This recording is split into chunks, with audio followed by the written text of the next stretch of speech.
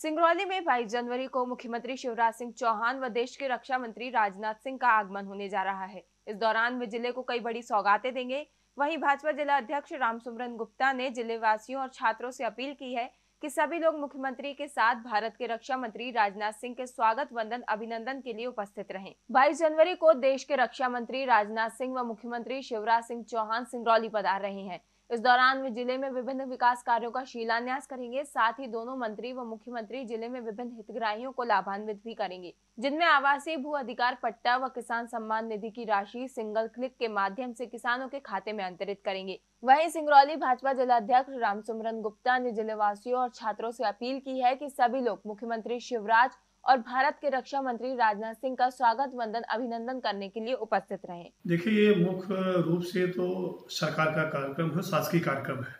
सरकार व्यवस्था कर रही है, पर चूँकि हम भारतीय जनता पार्टी के कार्यकर्ता हैं और हमारी ही सरकार इस बड़ी योजना को लेकर के आई है, जिस तरह से हम सभी कार्यकर्ता बैठक किए हैं सभी कार्यकर्ताओं को हमने काम बांटा है, सभी कार्यकर्ता पूरी तन मन से लगे हुए हैं। माननीय मुख्यमंत्री जी को मैं बधाई देना चाहता हूँ, माननीय रक्षा मंत्री जी को। कि जिस तरह से सिवरौली को बड़ी सौकात दिए हैं। माननीय मुख्यमंत्री जी, जो हमारे कमज़ोर वर्ग के लोग थे यहाँ पर, जिनके पास ज़मीन का टुकड़ा नहीं था, उनके, उनको रहने के लिए छत नहीं था, उनको पच्चीस हज़ार और चार सौ बारह भू भू अधिकार उनको दे रहे हैं। माननीय मुख्यमंत्री जी कल बाईस तारीख को आ रहे हैं। माननीय रक्षा मंत्री जी आ रहे हैं। हमारे सारे कार्यकर्ता उसमें लगे हुए हैं और मूलतः वो गढ़ारा में पहले उतर करके हमारे दोनों माननीय मंत्री वहाँ पर संतावन लोगों के साथ बैठ करके वो भोजन करेंगे, उनको भू अधिकार देंगे।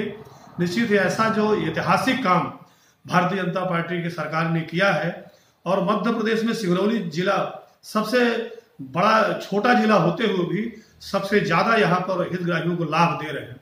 इतना बड़ा लाभ कहीं नहीं है। मध्य प्रदेश के ज़िले में जो भी हमारे बावन तिरपन ज़िले हैं उसमें से सिंगरौली सबसे ज़्यादा, पच्चीस हज़ार चार सौ बारह तो कल ही करेंगे, ऐसे बत्तीस हज़ार की गणना हुई है।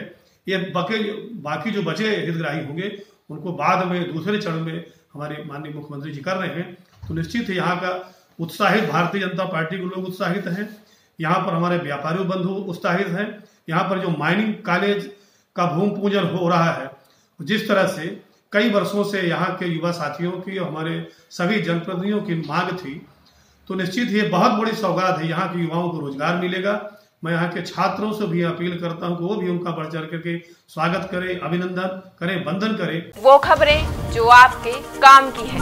वो खबरें जो आपके लिए ज़रूरी है। हर आम और खास से जुड़े मसले। हर मसले का सटीक विश्लेषण। हम करते हैं सत्य का अन्वेषण। दखल न्यूज़। आपके हक में। आप देख रहे हैं दखल न्यूज़।